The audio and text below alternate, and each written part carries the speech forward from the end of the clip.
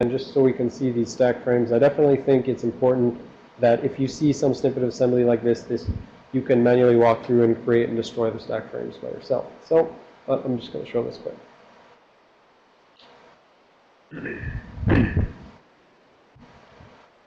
Over to the board.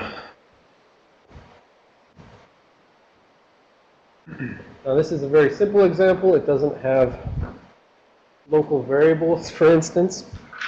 So these stack frames are going to be quite simple. But we start out at main at address 401010. So that's where we're assuming this is the first address that it executes. The first instruction that executes, it does uh, push EBP. And so we wrote this always as saved EBP.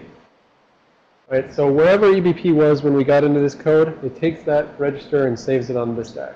And when you save that on the stack, your, your uh, stack pointer was wherever it was up here. But we know at this point, when that gets put on there, uh, ESP points right here right now. Right? You push something on the stack, ESP is always pointing at whatever's on the top of the stack. So, and a refresher for people who didn't have this, uh, I write my stack frames like this is the uh, bottom, but this is uh, high addresses. And this is the top, and this is low adders. Right? So I said stack grows towards low addresses, so our stack frame is going to grow this way. Other people write their stack frames vertical, growing up. Other people write them horizontal, going left or right whatever. Push EBP. Next instruction, move ESP. Remember, we're moving from right to left. Move whatever's in ESP into EBP.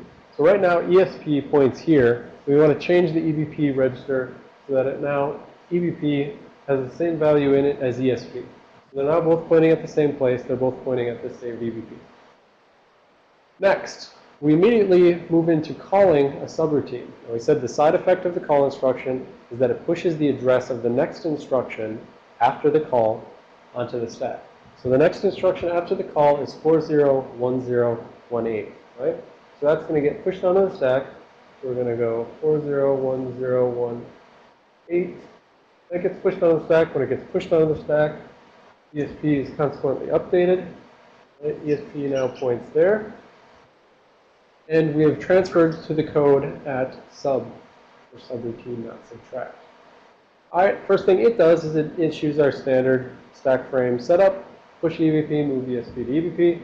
All right, so whatever this was, we're just going to make up some number for it. We're having some concrete values. We're going to say it was 12 FFD0 or something like that.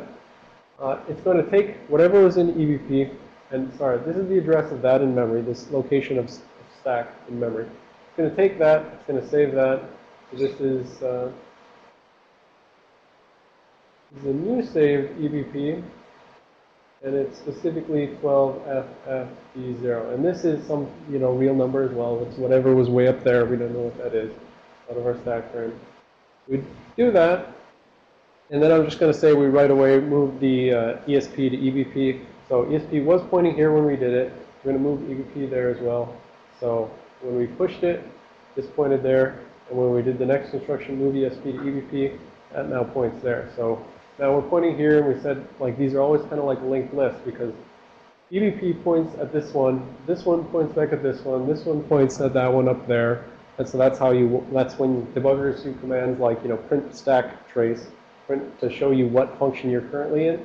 They're walking this list, and then they're looking at this instruction pointer that they assume is going to be immediately before the stack frame, and they're saying, which function is that from? And then they say, you know, you were in main right here. All right, so the only thing we just did the subs um, move ESP to EBP, and then the only thing it does is move hex B to EAX. All right, anyone remember why it's moving it to EAX based on that C code? Yes? Yep. Per convention on x86, EAX is the register used to store your return values. So in the C code, we see we're doing return hex beef. And so in the assembly code, we move hex beef to EAX so that when we return, if the function above us, the function that called us wants to check the return value, it knows to always check EAX. All right, so we did that, whatever. That has no effect on our stack. Now we get to the next instruction, pop EBP. That's, we're starting to tear down the stack. We're doing pop EBP in return. All right, so the first thing, pop EBP says take whatever's on the top of the stack. ESP is currently pointing here. Take that and copy that value into EBP. All right, so we're popping it off the stack. So ESP is getting updated to point, sorry, updated to point here. And then EBP just got its value overwritten with whatever was on the stack, which happens to be 12FFD0. So EBP now points there. And then finally, we issue the return instruction. That says whatever ESP is pointing to currently. I'm going to take that off the stack and put that into EIP. Right? We said EIP, you can't just like manually do a move instruction on. The only way to change EIP is to do calls, returns, jumps, that sort of thing. All right, so pop, or return rather, return takes whatever's in ESP, which is right there, pops it off of the stack. So for a pop, ESP gets updated, and then, you know, that gets set into EIP. So that was 401018. We're now back to, uh, over to the slides. Bill over, he's doing other classes as well, so I shouldn't move around so much. Right, so when we do this return instruction, it takes whatever's on the top of stack, which was this specific address, and it sets EIP to that. So we know immediately after that return instruction, we're going to be at this move hex food to EAX. All right, back over to the slides. Wait, hold on, did uh, Mike have something? That was the previous question. All right, so finally, we're back in main. We move hex food to EAX, showing the pointlessness of moving hex beef there. And then finally, we're tearing down this stack frame as well. And we're doing, so in, I guess in other things, I, I'd called this like uh, address of guy who called main or something like that.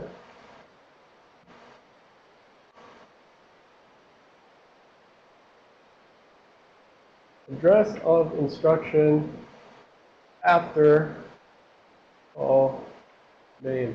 That was also on the stack at the time that we got into this thing, before we even pushed EBP, right? So we're at the pop EBP, so we take this right here, pop that off the stack. So ESP now points there. EBP points up here, wherever the previous stack frame was. And then finally, return says whatever ESP is pointing to, pop that off the stack, and then go back to that address. And we said that address is the address of whatever code called main, because typically on Linux or Windows, there's going to be some C runtime initialization or something that occurs before you actually do the call to main. So in reality, when you start the thing up, it, uh, you know, it starts uh, initializing your libraries, and then when everything's set up, it goes, you know, call main. And so obviously, you can return from main. Back to that. All right. Any questions on that? Any questions on the setup or teardown of the stack? All right. On we go, one hour in, into the real stuff. this is what you're going to learn. I'm pretty sure on this picture, uh, we cover everything except this XCR0, which I don't know what that is even. And, no, no, no. Yep, I'm pretty sure we cover everything except that one thing. So, by the end of this, you'll know that. Isn't that nice? Yes. Pause for effect. Can someone please say this is madness? Yes. This is madness. This is X80! No, intermediate X86! right, and as a nerd, you shouldn't uh, accept this ridiculousness because you definitely didn't say it at this point, right? That's obviously during the end of the battle, but the messenger actually said it much earlier, but I couldn't find any picture, pictures of him shouting at the messenger that were big and high quality and stuff. So that was a Google Images fail. And also I'm lazy and I didn't want to go out and get a screenshot from the thing. All right, so this is actually supposed to be your morning warm-up. This is uh, this is just going to introduce you to a new instruction which uh, has some utility. so I hope someday, you know, these classes actually, you know, get used by other people and then they have like a remix video of me like shouting this is All right. So CPU ID is uh, CPU feature identification. So this is an instruction which tells you um, what features your CPU currently uh, supports. Because as time you know goes on, they keep adding more features, and so if you want your code to be, um, you need your code to not just assume that something's going to be there, right? So when you have code which is meant to run across many things and be backwards compatible, etc., you need to check before you uh, try to use some features like hyperthreading or whether you even know you can go, whether it's 64-bit or anything like that. Especially hardware virtualization, right? It should be a quick and, it should be a quick and easy check if you write a hypervisor to uh, not try to start your hypervisor using the hardware support for virtualization. If you just check and see it's not there, then you got to either use software-based virtualization or whatever. All right, so CPU, CPU ID instruction doesn't have operands like some other things like add and move, etc. In that sense, it doesn't have operands in the sense that when you uh, actually call the instruction, you'll see any operands to it. It implicitly is always taking whatever's in EAX and doing something based on that. So you set up EAX before you issue CPU ID, and then uh, based on whatever's in EAX, it's going to look up different information for you. And when it looks at that information, then it spits it out to EAX, EBX, ECX, EDX. So assume that before you issue CPU ID, you need to set EAX, and after you issue CPU ID, assume that A, B, C, D are all going to be overwritten new information. all right, and so there is a minor um, thing here which, you know, ostensibly you shouldn't really ever have to worry about, but in reality, just to be um, Let's say you're running some software that you're going to run on early model 486s. You need to know whether you can even issue the CPU ID instruction. So it turns out that uh, Intel added the ID flag to the eFlags register. And so you need to be able, so if your program can set or clear the ID flag, whatever the ID flag is right now, you need to be able to either, if it's zero, you got to set it to one and then go and check, did it actually get set to one? If so, I can use CPU ID. If it's set to 0, you set it to 1, you wrote it back, and it's still set to 0, that means you may not use CPU ID. Same thing with 1, opposite order. so then this adds in the question of how do we actually read and write e-flags, right? So you have to actually set it.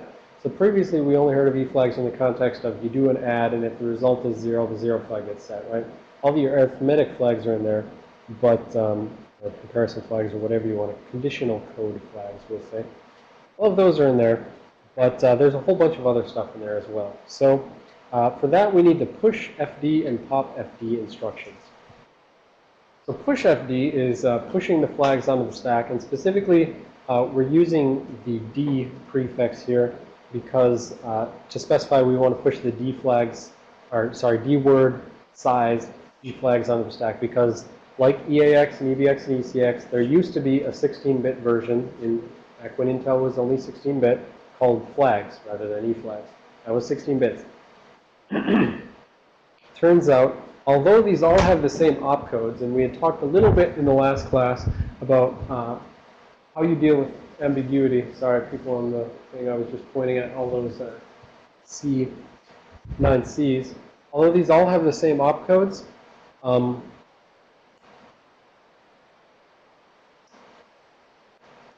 Visual Studio will always force, if you type push F, if you type push F in some inline assembly, Visual Studio will always force a prefix on this opcode, which forces this to be the 16-bit version. So you'll get 16 bits rather than 32 bits. So by using the push FD, it's telling the assembler, hey, I really want this, you know, 32-bit form, and then we'll give it to you. so Hey, Dino, Yes, question. Go ahead. Is all this information then just stored in microcode within the processor? The information returned by CPU ID or the eFlags information? The uh, CPU ID information. That's a good question. I don't know whether it's stored in microcode, but that would sort of make sense, but I would call it microdata. I don't know. I don't know to the extent that uh, that sort of thing is stored as data, whether you consider that microcode or not. Unfortunately, I don't know enough about microcode to say one way or the other on that. it's certainly stored within the CPU, obviously, but where and how, I'm not sure. Good question, though. Should look into that. Yeah, and I always like questions where I don't know the answer, so I can go look into them later. So where is the CPU ID stuff stored?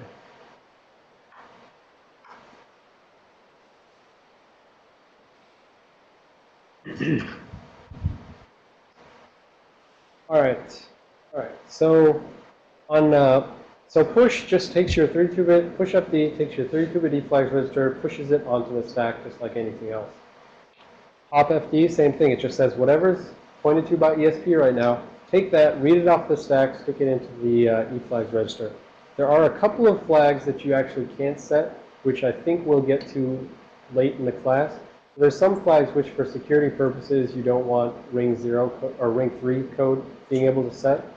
So later on, when we get to that, we'll talk about it. But most of the flags can be set just by pushing and popping. Yes. So given that the, the difference between pop F and pop FD appears to be whether you get the uppers X, which bit is the ID flag? Um, yeah, I should have put that into the uh, into the slides. I keep like always thinking to put the CPU ID uh, or the E flags into the slides, but you know, you're old enough now that you can handle the manual. So I will show you where the. Uh, so in the previous class, we said we only want you to think about there being a couple of uh, E flags and everything else. Don't care. Let's find the E flags, shall we? All right.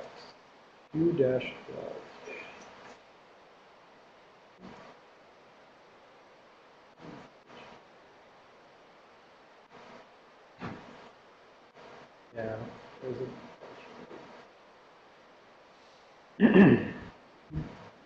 There we go. All right.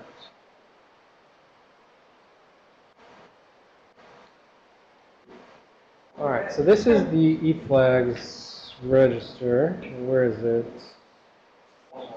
One. Yep, there it is. All right, so. that, so yeah, all that stuff that we talked about before, carry flag, parity flag, auxiliary flag, zero flag, sign flag, those are all your typical flags which get set. Uh, those bottom, you know, 8 bits, those are plus some reserved ones. Bottom 8 bits, only like 5 flags, those are set for all your arithmetic operations and, you know, in some other special cases as well. Trap flag we're going to learn about later. That has to do with debugging. Hold on one second.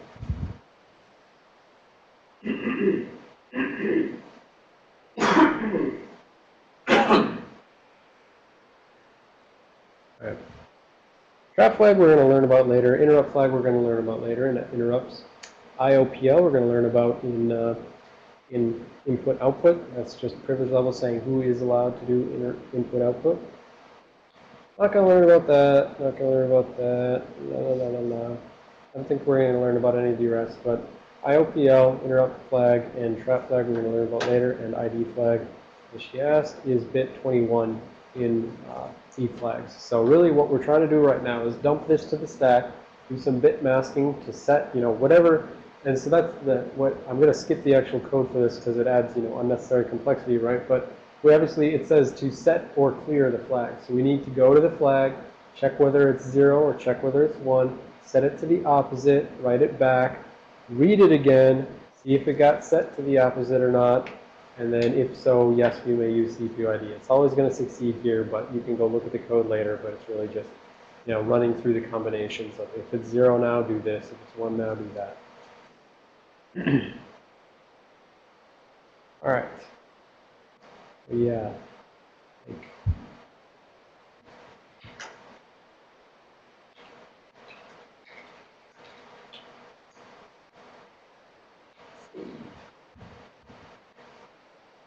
All right, so back to CPU ID. Assuming we can set or clear the ID flag, we can use CPU ID. So what can we get out of that? All right, so in the simplest case, uh, if you give EAX as 0, you set EAX to 0 immediately before you issue CPU ID. What you're going to get back out is first, EAX will now be a thing telling you the maximum input value for CPU ID information. That says for what will look in the manual like this column initial EAX value, you'll come back with a value that says, hey, the maximum thing you may ask for on the CPU is you know, hex 12 or something like that, right? So then you look at the table and you say, okay, I can use all that stuff, but I can't use hex 13 and, you know, because it's not anything that's on my CPU. And then also they have uh, a little string in there, genuine Intel, which you can put together and then you can print out, you know, hey, this is an Intel thing. And actually, again, this is something maybe I should put in, maybe I'll just always go to Wikipedia on it. But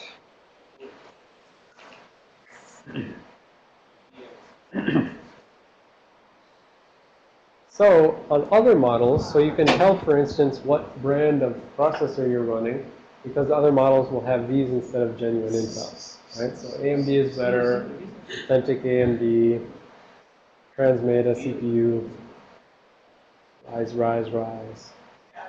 The smaller- Cyrix. That's right, I like that. These are good. The other vendors are very exuberant. Yes. Well, you know, they're the upstarts, right? All right. So that's what you get back, genuine Intel. We'll run the CPU ID instruction in a lab here in a second. You'll see that you put it together. And yeah, I think I heard someone commenting, uh, these things are out of order and stuff like that, right? So, well, maybe, no, no one did comment. And you, yeah, so it's, you have to put EBX, EDX, ECX for whatever reason. All right. And so there'll be some other stuff uh, in the CPU ID. I think I'll show that in a second after we run the lab, but I'll show some of the other sort of information you can get out of it. All right, so this is our lab. Uh, basically, the core of it is that you know you run this code, check if you can use CPU ID. If yes, then go ahead, run some assembly that says, you know, create a string to create, uh, use the pointer EDI to store. Uh, sorry, use EDI to store the address of vendor string pointer. And then we're going to put 0 in EAX, call CPU ID, and then we're going to take, you know, the EBX, ECX, EDX, and use those to put those chunks in the right order to print it out. Yes. So, it's a, a, little bit of a detour, but given that I, I hear all these things about the, you know, tech virtualization code relying on timing and so forth, are, do, do most virtuals, the virtualization systems actually duplicate some particular genuine processor CPU ID information? In some cases, they'll just pass it right through. Interesting thing I noticed with my Fusion, uh, VMware Fusion on my Mac, it reports my VM, my Windows VM, as an uh, Core i7 or whatever, which is what my actual physical thing is, right? And on my Windows machines, it reports, reports Core 2 Duo. Some may pass it directly through. In terms of the options that are available, for instance, the virtualization system may want to say, no, there's no such thing as hardware virtualization here. Don't be running any code which tries to, you know, turn that on, right? So um, it is going to be the case that some virtualization systems, you can think of it, hook calls to this instruction. Uh, I think it's actually just built into the, for instance, x86 hardware virtualization, but I don't know yet because I haven't been research that for the advanced class. But I've heard references in talks and stuff saying that, you know, they can hook the hardware support for virtualization will allow the hypervisor to hook any call to CPU ID that happens inside the guest, and it can return whatever it wants at that point, right? So it can say this or that feature doesn't exist. Heck, I've even seen in like some of the VMware preferences, I don't remember what version, it'll say things like, yeah, export the NX bit or something like that. So we'll learn about NX later, but it's, it's just the bit that's used for doing uh, uh, non-executable memory. And so the hypervisor will actually tell the guest VM, sorry, there's no such thing as this non-executable memory support. So, um, yeah, they can they can hook that in some virtualization systems. Okay, so it went back to the point of detecting virtualization systems. There is some code. I tried to use it here, but it didn't seem to work because it, it always said that I was virtualized even when I was on physical. We can try it on these machines. Maybe we'll get a different result, but um, it just executes like a bunch of CPU ID instructions, for instance, and tries to see, is this CPU ID instruction going a bit slow, right? Is someone maybe intercepting it and returning whatever they want?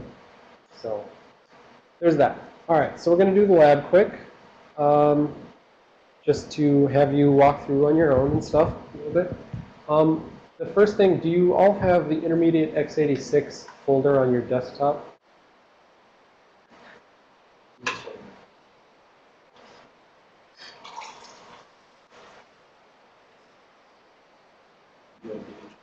Okay, hold on. There was a question before on the, um, on the chat where Dave was asking, you know, whether a compiler would notice that the value returned from sub. So back in our, our example code where we had the, uh, yeah, sorry Dave, since you don't have the mic. Um, in the future, tell Bill if, uh, yeah, as he's doing now, but just tell Bill, you know, please interrupt Xeno.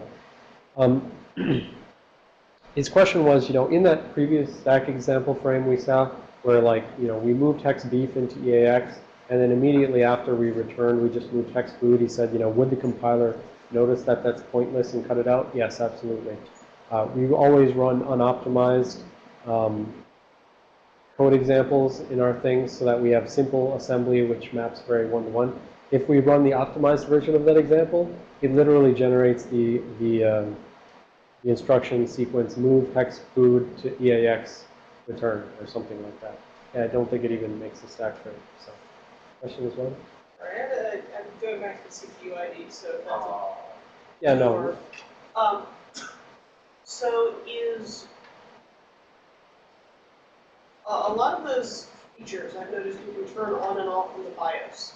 Yep. Is what CPU ID returns what's currently activated or what's possible, or am I deeply misunderstanding how this works? Because this is a little lower level than I usually. That's a good point. Um, I don't know that. See, that's, I was kind of thinking when, uh,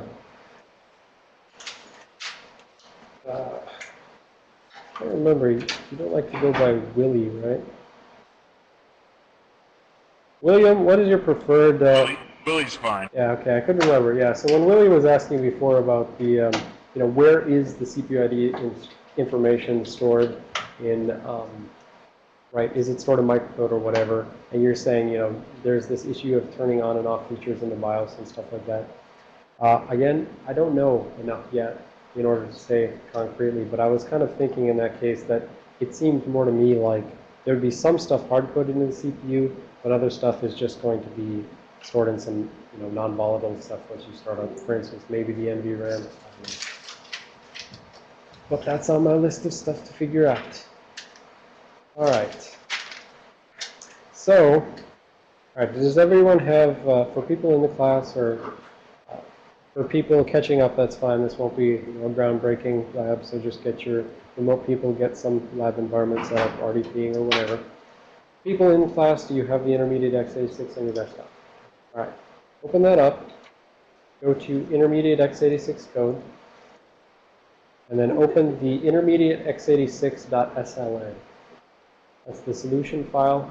Visual Studio will open that. It'll have multiple projects within it.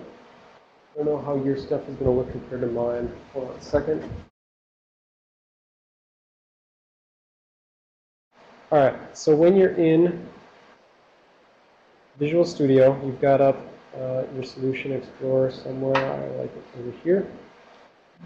You expand CPUID, expand source files, open up CPUID.c. And so this has all the set ID flag and all that stuff is, uh, as we would expect, that's the complex stuff about um, checking whether you can set or clear the things. So the main thing is we're just going to uh, go down to the very end of the code, set a breakpoint on return hex baseball. As a reminder, you set breakpoints by going over to the sidebar and clicking, and a little red bubble should appear, and that's setting a software breakpoint on that location in the code. Before we compile it, we have to set CPUID as the startup project. So right-click on CPUID actual project file, and then uh, set a startup project. And then when you do that, it should appear as bold after that. All right, good, good. All right. So start, start a project and then just go ahead and, uh, you know, you've got your breakpoint, so go to debug and start debugging.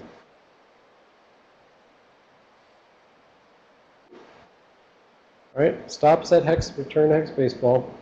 And if you pull up the uh, little command window and stuff, it's going to say max basic CPU ID, so that was the value returned in EAX, is hex D. If we go to the manual, we know that on this system, we can look it through the table, and hex D is the maximum one we can actually issue on here and have it, you know, talk back to us. And then finally, we took that string and we rearranged the parts and we printed it out And so this says, yes, I am on a genuine Intel CPU. All right, so that's really all there is to this. Not particularly groundbreaking, but the point is, you know, now you know how you can issue the CPU ID instruction. You just need to, you know, most of the time you don't even need to check. You're not, if you're not expecting to run on early 486s, just go ahead and set, you know, zero, set EAX to zero and then issue CPU ID. But then you need to know how to interpret the results, and the only way to do that is by looking at the Intel manual. Right, so also in your intermediate x86 class, you've got a Intel Manuals 2008 and Intel Manuals 2009.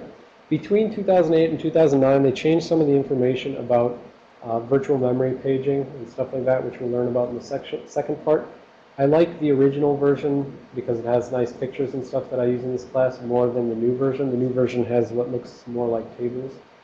So uh, I prefer the Intel 2008 manuals. That's what all of your stuff in the slides is from the 2008 manuals, FYI. But uh, right now we're looking for how do you interpret CPU ID results? How do you, how do you know what everything you can find out? So in this uh, volume 2A, uh, ASM A through M, go ahead and double click on that.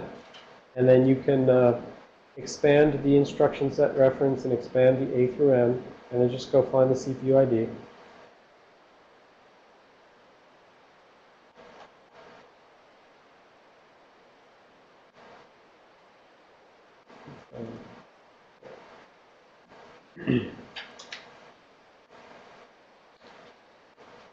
And when you do this, this, uh, this manual page is going to show you that table that I only showed you a part of before. And so now you can look down through the entirety of it, and you can see that, okay, let's go to hex D and see if there's even anything after that. Yep, so hex D is actually the last of the, quote, basic CPU ID information you can get. And when you get past the basic information, there's actually this extended information as well. So if you were to give, if you were to issue 800000, then you would get, you know, now the new pointer which says, you know, EAX will come back with your maximum value that's possible. Right? So you have to issue 0. If, if the only stuff you care about is in this initial part, 0 through D, then, you know, you only need that. But if the stuff you care about, like, for instance, whether or not syscall sysret are available, uh, then you need to like call some of this extended stuff. And yes, we don't know what syscall and sysret are. This one actually, this is the one I like. Uh, processor brand string information. Very useful. Uh, and what it boils down to is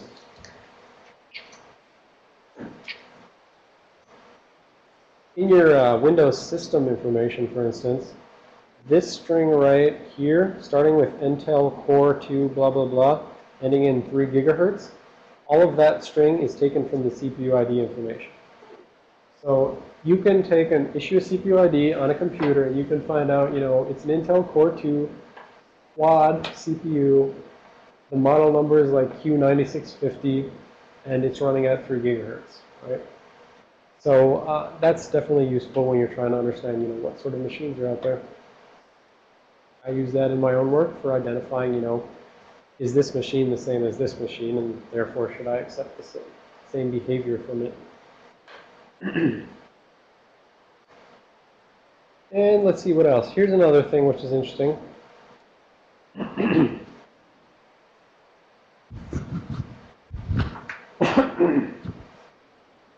uh, virtu virtual and physical address sizes.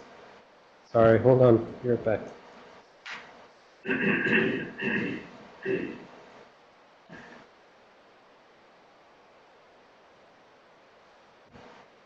Virtual and physical address sizes is basically telling you, can the system only access 32 bits of memory? Can it access 36 bits of memory? Can it access 48 bits of memory? And so the virtual and physical has to do with, you know, if you're actually in 64-bit mode, 64-bit mode doesn't actually, on current CPUs, doesn't actually have the ability to address 2 to the 64-bit bytes of memory. Uh, in reality, Intel constrains it for now, so it's something like 2 to the 48. I don't know, I was just skimming it. But um, point is, you can't even buy enough RAM right now to have 2 to the 48 uh, worth of memory. Sorry, Xeno. Yep, go ahead. Quick question. Yep. Um, somebody was asking what is the password for the VM. I didn't mark that down. Oh yeah, Sorry. that is, well, we're not on the VM yet, so I'll tell you when we get there. No. Um, it is awesome password for the win, and it is spelled as is currently on the board.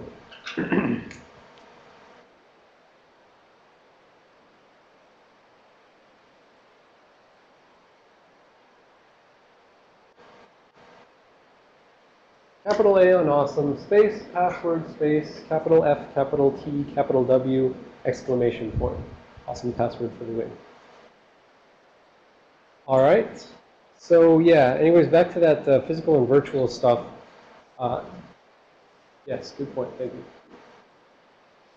Um, it basically is telling you right now how many, how large of memory space you can actually address on your computer.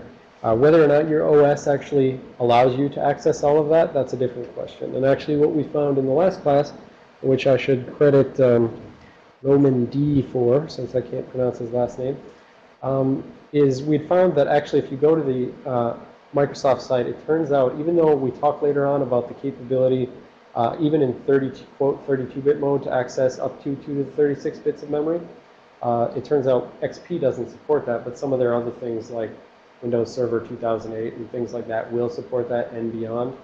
Uh, but, uh, but yeah, so this ends up being something where if you want to know how much actual physical memory the OS you know, has available to it, that will tell you this is how much RAM is actually installed in chips right now on my, uh, on my motherboard. And then let's see if there's anything else miscellaneous. There's, there's a lot of little like, you know, is this instruction enabled? Can I use, uh, you know, generally speaking, can I use uh, virtual machine extensions, stuff like that? Is, read is the um, TXT stuff in CPU ID? Yeah, it comes out in uh, ECX. Do you remember for what uh, input? When EAX is set to zero. It may not be That the can't possibly be correct. Well, it may not be in the 2008 manual. But if EAX is set to zero, No. that's the genuine Intel. I don't All think it'd right, be they're there. obviously not on zero. Is Where's the it? extended thing, Is what? is the extended thing allow you to set? Yeah, I mean, I would expect it to be somewhere in the extended stuff. So maybe it's What you 8.0. actually ask for there is safer mode extensions. Oh, yeah, that, that may not actually be in this manual, you're right, but, And that may okay, be in a later manual. good point. All right, whatever then. Anyways, point is, as new features get added, when Intel's coming out and saying, hey, we've got AES in our chips now, and hey, we've got virtualization, you need to go find the latest Intel manual, pull up CPU ID, and that's how you'll find out whether or not your processor actually supports it. There we go. That is CPU ID warm-up for the day.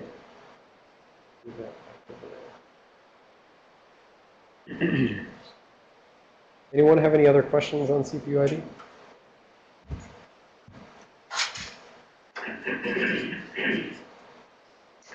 It's, uh, you said EAX for one, and it's in the 2009 manual. All right. Well, so Reed says that TXT, uh, Intel's uh, trusted extensions technology, what is the T- Trusted execution. trusted execution Trusted execution technology. technology? And what you actually, there's, it's like a several step process to find out if TXT exists. You have to first ask if safer mode extensions exist. And you can turn on the the flag that allows you to ask if TXT is an instruction. Right.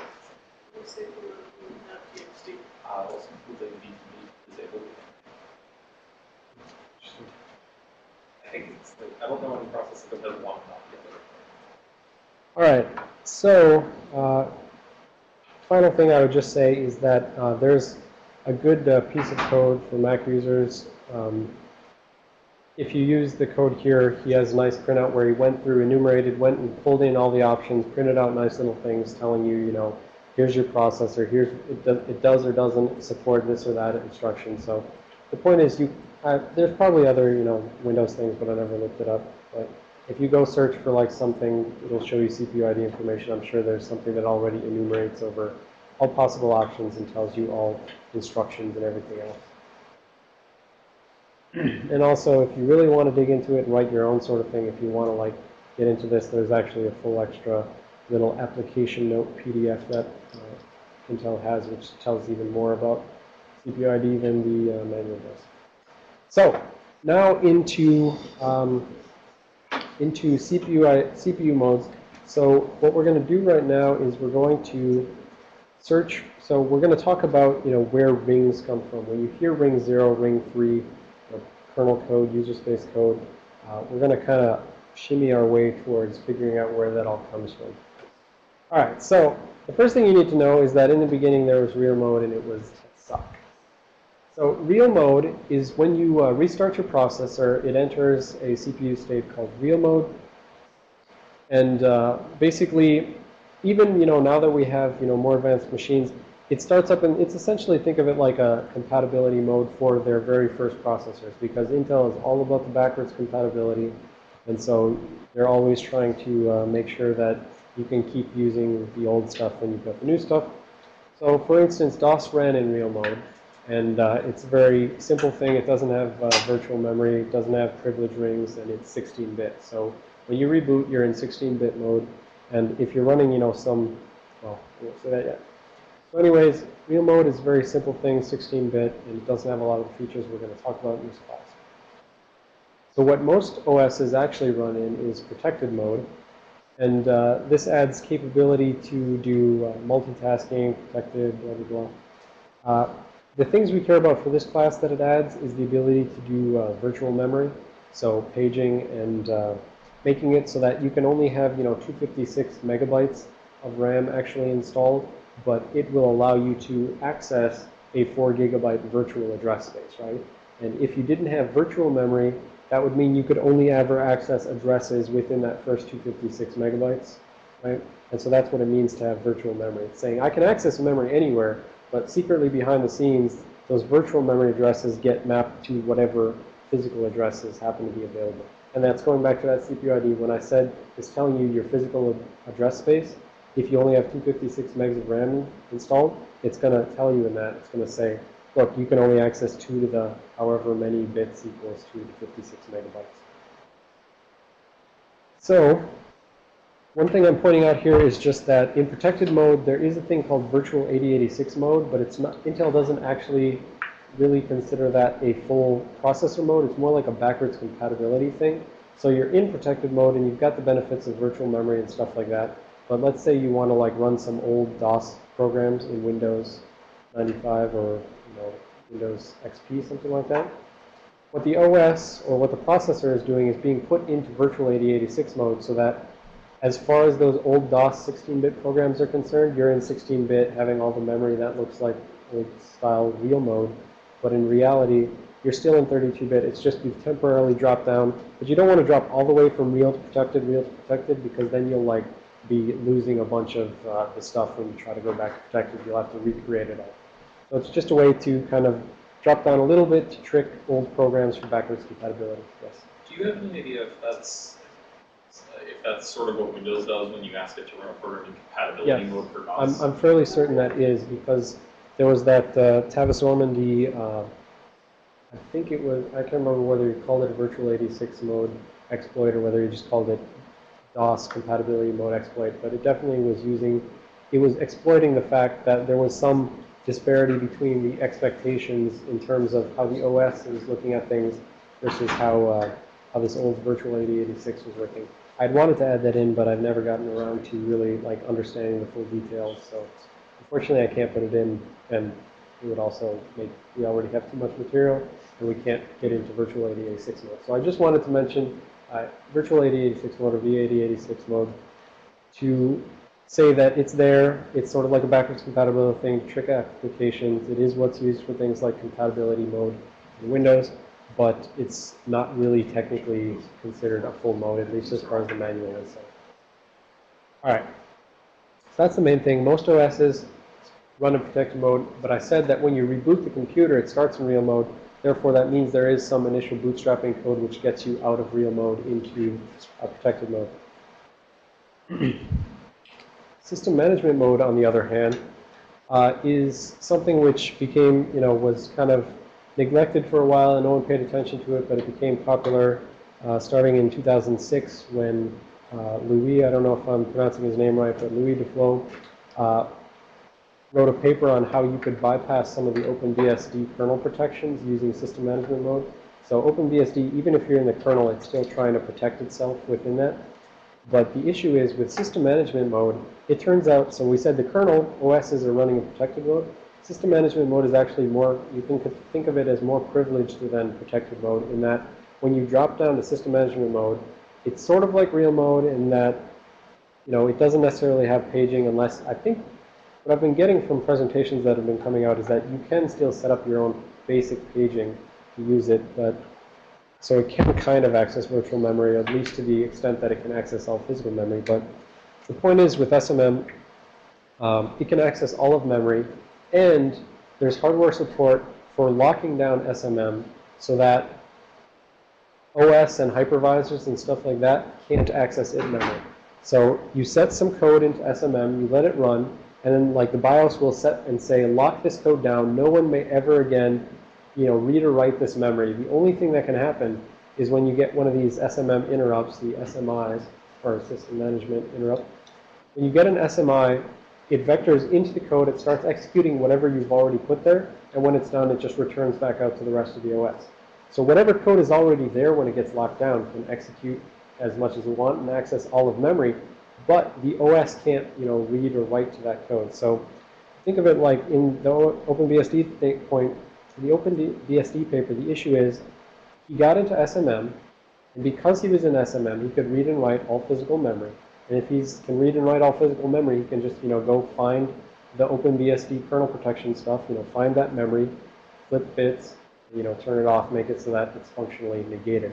And the same issue is will recur with things like virtualization, right?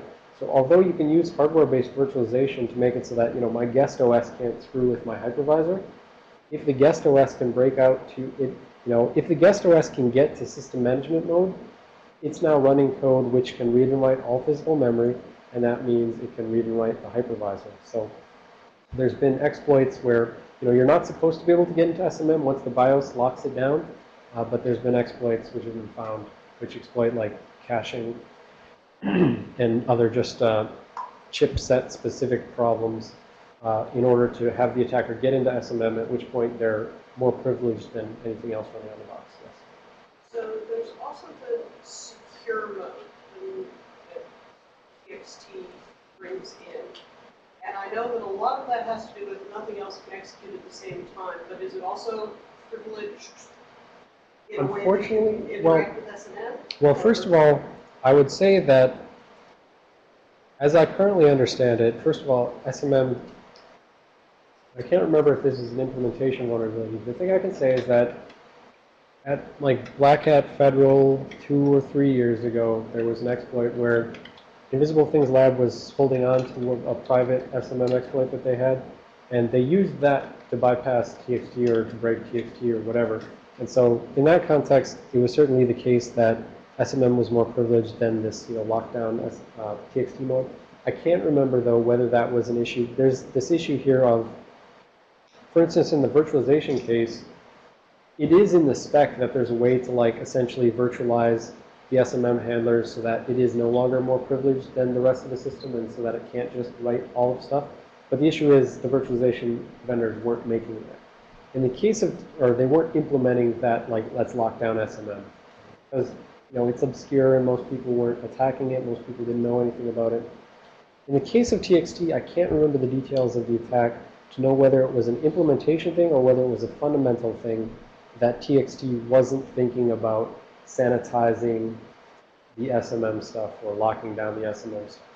I feel like, whereas virtualization, was an implementation thing, people just weren't implementing the thing. I feel like in the TXT case, it was more serious in that it was the case that they didn't have specified at the time a way to lock down, but I'll have to double check that. I'll, I'll go look up that talk quick at the break.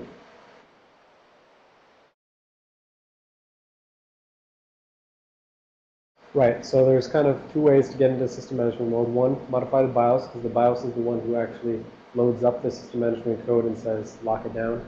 Or two, have some exploit type thing, which allows you to read or write things. So there's been like two or three, I can't remember whether it's two or three sort of actual exploit type things. One was the caching one, one was the chipset one, and stuff like that. I think I have links? I don't remember, but they're definitely in like my proposal for research like two years ago.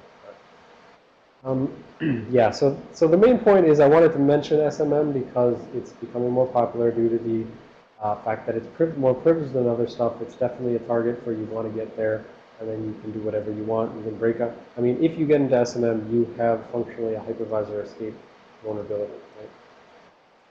All right. Yeah, but that's going to mostly go in the uh, advanced class because hopefully we're going to be learning a bunch of stuff about this and TXT and stuff like that, right? The point was let's learn some stuff about this so that we can uh, present the stuff more widely in the future.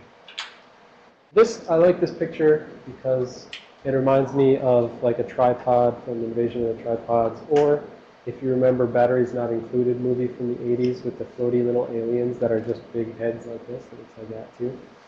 So this is great. This is uh, from the AMD manual, actually. I had one person who gave a talk at ShmooCon a couple years ago. I think it was year before this last one.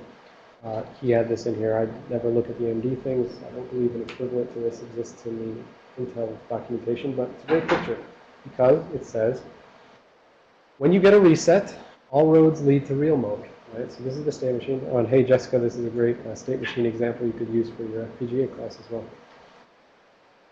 When you get a reset, all roads lead to real mode. You restart the pro processor, you're in real mode. If you want to get from real mode to protected mode, there's this CR0, it's control register 0. There's a PE flag for protected mode enable.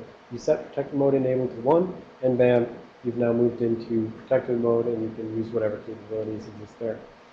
And then there was this eflags.vm thing. We didn't talk about it, but we said that's the virtual flag or whatever it was, virtual mode flag. And so that is what kicks you over to that virtual 8086 mode, right, for backwards compatibility. Also, from protected mode, you can enable this, you know, LME, CR4, blah, blah, blah. You set some, set some bits, and you get into long mode, which is 64-bit mode. So this protected mode is 32-bit, and long mode is 64-bit mode, but there's also a compatibility mode here. So virtual 8086 is sort of like compatibility with real mode, and this compatibility mode is sort of compatibility with 32-bit. But overall, this is supposed to be a 64-bit execution environment. This is 32, that's 16, that's 16. But we've got this little system management mode off here to the side, collected and ignored until it uh, became popular.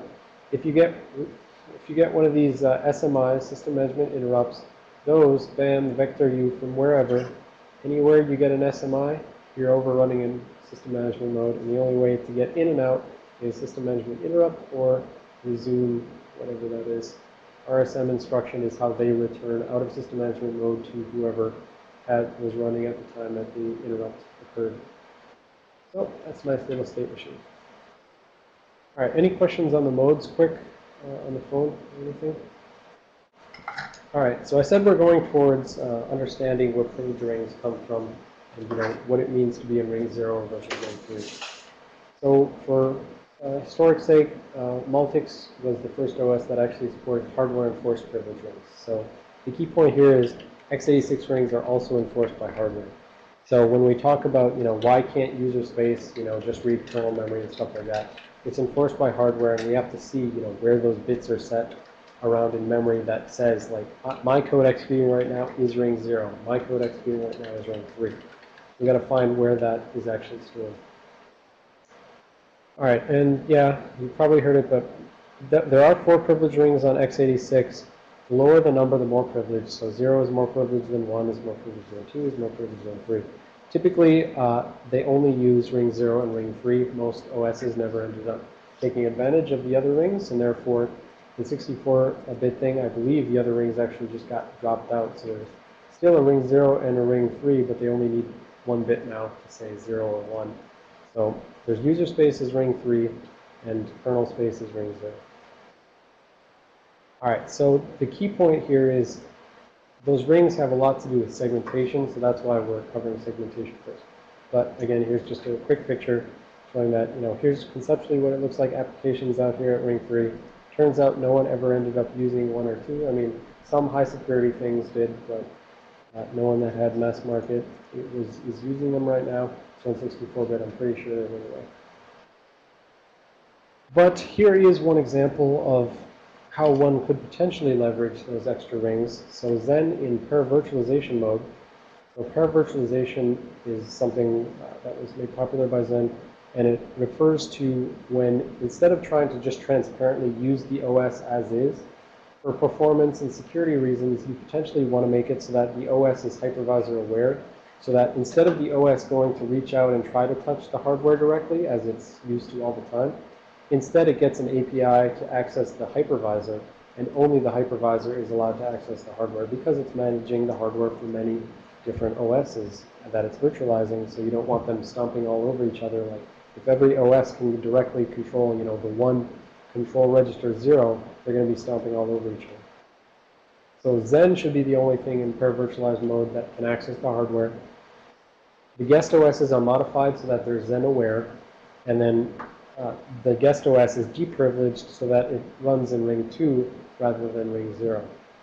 And so if it tries to execute some ring 0 instruction that can only be executed from ring 0, it'll cause, you know, a, a trap or a fault or interrupt or whatever, and uh, the hardware is going to kick it up to ring 0, which is Xen, and Xen will handle it.